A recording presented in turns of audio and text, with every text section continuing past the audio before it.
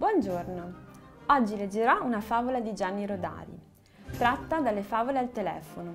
Le favole al telefono sono una raccolta di fiabe eh, in cui il protagonista è Ragionier Bianchi, un commerciante, un rappresentante di commercio, spesso in giro per l'Italia, il quale ogni sera raccontava una storia alla figlioletta per farla addormentare. Per questo motivo le favole sono molto molto corte.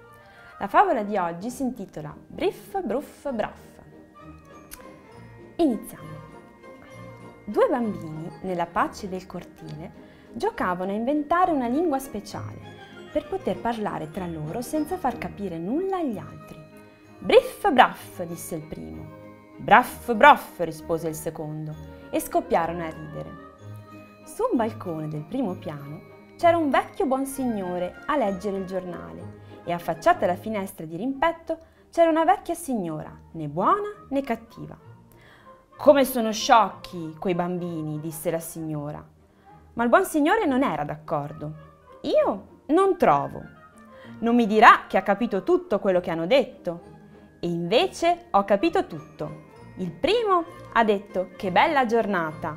Il secondo ha risposto domani sarà ancora più bello.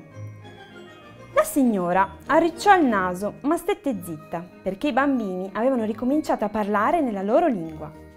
Maraschi, barabaschi, pipirimoschi, disse il primo. Bruff, rispose il secondo. E giù di nuovo a ridere tutti e due. Non mi dirà che ha capito anche adesso, esclamò indignata la vecchia signora. E invece ho capito tutto, rispose sorridendo il vecchio signore. Il primo ha, de- ha detto, come siamo contenti di essere al mondo. Il secondo ha risposto, il mondo è bellissimo. Ma poi, è bello davvero? insisté la vecchia signora. Briff, bruff, braff, rispose il vecchio signore.